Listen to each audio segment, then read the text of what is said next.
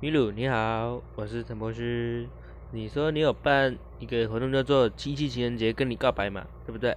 那这一次我有接收到你的讯息，要要来参加啦。那我要来跟米鲁说什么呢？米鲁，我觉得你超可爱的，然后我也喜欢嗯可爱的猫儿，然后也祝你七夕情人节快乐。米鲁，我爱你，爱你哦，米鲁，爱你，米鲁，爱你，米鲁。